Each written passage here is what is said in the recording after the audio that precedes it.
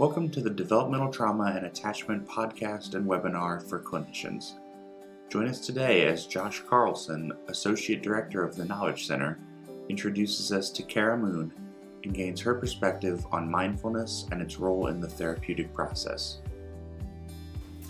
Hi, welcome to uh, Chaddock's Developmental Trauma and Attachment webinar series and podcast.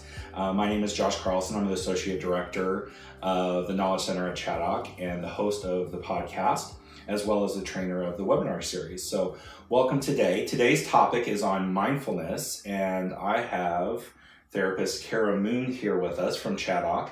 So, Kara, tell me a little bit about yourself um, what you do here at Chaddock, how long you've been here, uh, the type of clients you work with. Sure. Um, so I've been here, um, actually this year is year six. Um, I started as an intern um, at the school, so I have a little bit of experience there.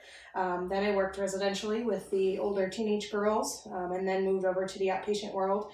I'm a licensed social worker, currently working on uh, getting my clinical license, so hopefully that comes sooner rather than later. Awesome. So. Okay. Um, so today's topic, as I mentioned, is about mindfulness. So when you hear the term mindfulness, what does that mean to you in the context of the clinical setting? So mindfulness for me, um, when working with my clients, is really about them being able to let go a little bit um, of of their struggles to to have to be on guard all the time. Mm-hmm. Um, it's an opportunity for them to just practice being in the moment, um, being present with themselves, their body, their surroundings.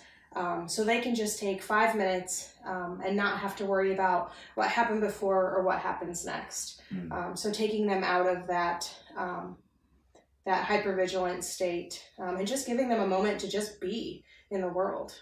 So why is that important? Why is it important to give our clients that moment to to pull them into the present, to fully experience the present moment?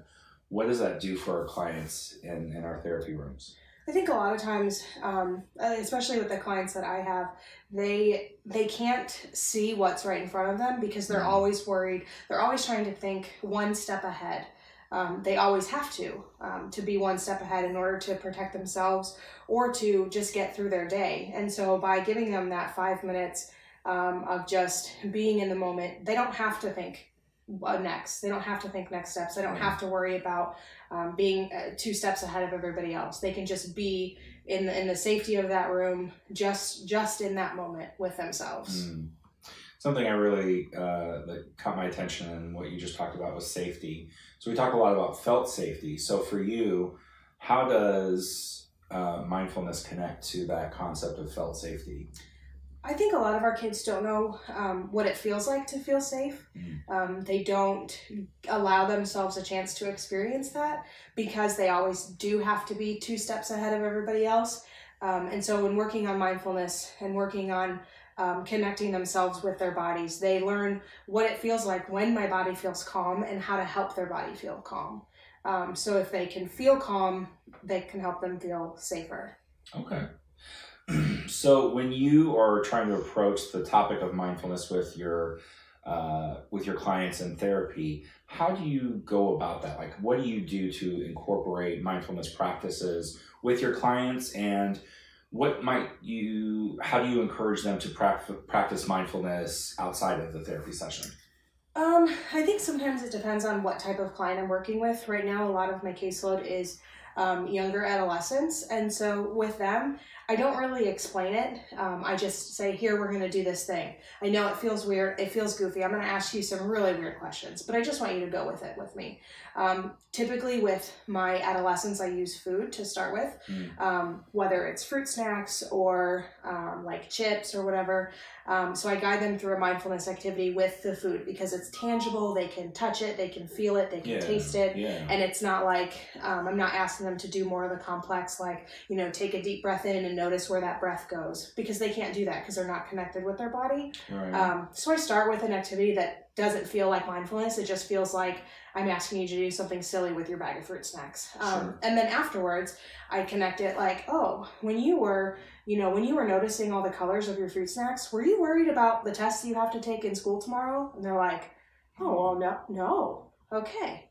You are right here in that. And so we do a lot of education through that way after we do the activity. Mhm. Because then I find um, if I try to explain it beforehand and I'm like, okay, we're going to do this thing and it's going to do blah, blah, blah, blah, blah for you, then they start to focus so much on what they're supposed to be doing that they lose the experience. Right. So I find that if I just do it and I'm like, I know this is weird, just go with me, they get more of the experience because we can reflect on it afterwards. Right. So rather than focusing on doing the activity right, Mhm. which then pulls them out of being Mhm. present in the moment, We just, you just you just say we're going to try this activity out and see how it goes. And with my older clients, um, whether they're adults or they're just a little bit more mature, um, I usually guide them through more of a breathing, or I do a lot of like the the scripted meditation. Mhm. And I say, all I want you to do is just relax into your chair and follow my voice. yeah. Um, and then we go through and reflect on that process afterwards. Something you mentioned uh, just a couple uh, moments ago was that kind of using food as that kind of tangible. But it, uh, the other piece that came up to me was there's a big sensory component. Mhm. So we're taking this outside stimulus and putting it into our body, and we're allowing ourselves to try to experience that rather than trying to experience like a physiological something happening like breathing Right. or what have you. Um, so last our last webinar we talked about sensory so i think that's great that you brought that up. So um, when how do you try to incorporate sensory that sensory experience? Because we talk about how sensory experience and and uh, clients being able to um, or how sensory exposure can help clients calm down how do you look at sensory experience and mindfulness and how do you mesh them together Um, I think for for my clients, I really have to do a lot of the the mindfulness first. Um, I need to, especially with the kids that are so dysregulated and they need that sensory. Um, if I can get them to a place where they can practice the mindfulness and they can do it with me, um, we can move into a little bit more complex or mindfulness experiences. Um, that because once they know what they're looking for, once they know um, kind of like okay how I do this, then they can pull in the sensory pieces. So um, with some of my clients that have been doing the mindfulness with me, um, we take it to the next level and we use more sensory rich things. So um, I have a couple clients that I use shaving cream with. And so we just put a big dollop of shave cream on the table and they play in that and they tell me what it feels like. They tell me what it um, what it smells like, how it makes their hands feel, and things like that. So we can take it to the next level once they have that foundation of, of mindfulness experience. Yeah. Okay. So um, the other thing that stood out to me is you talked about um, adding on the psychoeducation of and the application of mindfulness of. So when you did this, were you worried about the test later this week? No. And so you're you're also taking a moment within the session to show them the application or the usefulness that this isn't just a silly game Right. that there there are like real tangible benefits of I can use things like this to take a break from the things that are worrying. Right. Tell me And a I- little bit about that. That's a good um, a good segue. I um, especially with my adolescent clients, a lot of their struggles are at school. Um, socially, you know, in the classroom, focusing, and so I encourage them. Once we practice it in session, you know, okay, you can do this at school, at the lunch table. Do it Mhm. with your, you know, your French fries. Notice what they feel like. Notice what temperature they are. Notice what color they are. Notice how salty they are. Um, you can do it in your classroom. If you're in the middle of a test, you need a break for a second. Close your eyes, take a deep breath, look around the room, find all the colors that you can see, find all the shapes that you can see. Um, you know, just take yourself out of, you know, what it is that you're doing and, and find something else in the room to, to, you know, choose something in the room and put your attention there. And so we practice a lot of those things. Um, and then that's how I, you know, okay, this week I want you to practice it one time, you know, at, at school or one time at home. Um, and then they come back and most of them remember and they tell me what they did. Um, some of them forget, and that's okay too. We just do more of it in session so they get that experience. Okay. Um, and I think you've kind of touched on this a little bit, but any benefits to our clients using mindfulness that you haven't talked about yet already that um, that people who are listening to this podcast or might be interested in te- uh, attending the, the mindfulness webinar uh, should be looking for? Like what or what you know why should they uh, attend the webinar? What what benefits do our clients get because of using mindfulness? I think um, one of the things that I like the most about mindfulness is that it doesn't have to be. There's no set way to do it. Um, you can do it with anything, anywhere, in any environment. Um, you know, you don't. It's not just food. It can be like you know, like I said, things around the room, things within your body. It can be um, bubbles or um, you know, little pieces of candy or gum or mints or drink. Um, it doesn't have to be. There's no hard and fast rule for how to do it, as long as you have like the core elements of it. Yeah. Um, and so, learning about it and learning how to use it, it's something that you know not just our clients can use, but us as practitioners, um, as clinicians. You know, it, it's a it's a helpful tool to just to have in your pocket um, because we all experience you know that feeling of like of, of being overwhelmed and just needing a, a moment to ourselves and a moment to reconnect to the world, um, you know, to, to feel grounded. Mm-hmm. Um, and it helps us move on through our day. Um, and so I think, you know, having that understanding of why mindfulness is important and, and how it can benefit us just to have, um, whether you're a clinician or whether, you know, you're just, um, I mean, anybody, Mhm. you can, you need it and you can utilize it in any setting. Yeah. So, and I think the important uh, something that came out of that statement for me was that it's it's not just a benefit to our clients, but it's also a benefit to Mhm. us. Especially, you know, that think about the parallel process that we talk about in reflective supervision. That if we're practicing mindfulness, um, that's only going to strengthen our Mhm. ability to help them.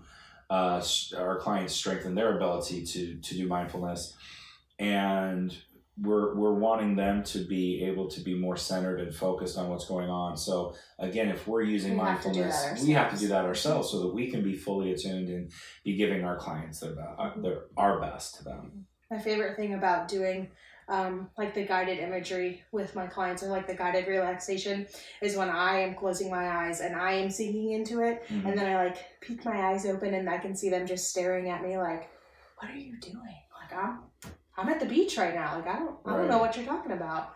And so seeing them Mhm. um, watch me do it, I think is is helpful, um, and and giving them permission to do it with me, Yeah. um, and that has been uh, something that I've been noticing with some of my clients. Awesome. So, what do you do to support your clients as they're trying to develop these skills? You know, are there are there certain barriers that you've noticed that you know that your clients kind of come to you with, and being able to um, use and and use it in an ongoing fashion? That uh, are there any ways to help clients overcome those barriers that you found helpful? Um, a lot of times, for some people, it feels silly, Mm. um, or it's really, really difficult, and so you know they they can't take themselves out of that moment. They can't you know connect with themselves, um, and so being supportive in that and not discouraging and letting them know like this is okay. Sometimes this doesn't work for the, for some people, and let's try something different. Um, another reason why I like how versatile it is because if if this doesn't work with this client, I can try, you know, if A doesn't work, I can try B, C, D, and E. Yeah. Um, and, and really reassuring them that, like, eventually we will find something that works for you, something that helps you connect with yourself. Um, and so being really supportive with them and, like, this is normal, this is okay, right. let's try again, um, and not allowing them to give up. Um, so every session we either start or end with an activity. Yeah, and I think that's one of the most important things about mindfulness. It's not just something that you like can do. It's It- practice. It, it takes practice. It takes some time and effort Mhm. into being able to util, utilize that school uh, or skill, I should say. Uh, what would be your best piece of advice to other clinicians that are interested in implementing mindfulness into their everyday practice with their for themselves and for their clients? Um, I would definitely say eh, the practicing yourself is important. Mm. Um, I try at least a few times a day, just just for a few moments, um, to center myself. I have a, a YouTube clip um, bookmarked on my uh, internet browser, and so you know every now and then when I'm finding myself too overwhelmed, I click on that, and I it's I think it's a three minute clip, and I just listen to his voice and I, Mhm. I follow his instructions, um, and so really practicing it and and feeling the benefit for yourself yeah. um, you know, as we talked about that parallel process, if I understand the benefit, um, I can then relay that to my client in a more effective way. Yeah, definitely. Any other thoughts about mindfulness that that we haven't talked about today that would be good for our listeners to, to be thinking about or considering? Sometimes it's just a really good excuse to eat some chocolate.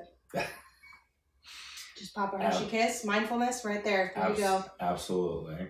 All right. Well, thank you for um, taking some time out of your very busy schedule to, to join us today and talk a little bit about mindfulness and how you use it in your therapy session with your clients and, and for even for yourself. Yeah, thank you. Uh, again, thank you everybody for joining our podcast today, or if you're watching on YouTube, watching us today. Uh, we hope you join our webinar here at the end of the month related to this. It'll be the to- on the topic of mindfulness. Um, if you haven't already, uh, check out our uh, website at the knowledge center at chaddock.com. You can also find us on social media on Facebook, uh, Twitter, and um, YouTube. Thank you for joining us for this edition of the Developmental Trauma and Attachment podcast and webinar for clinicians. Be sure to subscribe and follow the Knowledge Center at Chaddock on Facebook for future episodes and for more in depth content from the Knowledge Center. For further resources and training opportunities, please log on to www.theknowledgecenter We hope you join us again next time.